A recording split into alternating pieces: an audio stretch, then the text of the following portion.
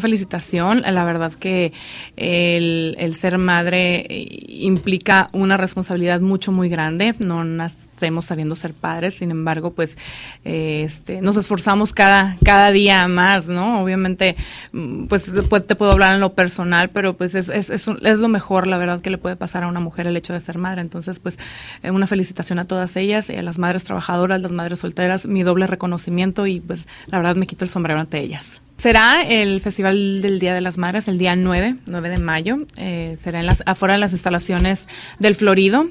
Eh, la verdad contaremos con un amplio repertorio, eh, estarán varios grupos musicales, tendremos lo que es eh, corte de cabello, tendremos este, obviamente lo que es trabajo social, asesoría psicológica, asesoría legal, eh, tendremos también lo que es este, los proveedores, entrega de lentes tanto de sol como de, graduación, tendremos atención médica tanto, tanto de Cruz Roja como de servicios médicos, habrá bastantes sorpresas, rifas y regalos, obviamente este, la participación de todos los proveedores que surten a, las tiendas del Florido tendrán también eh, varios obsequios para todas las, las madres ese día.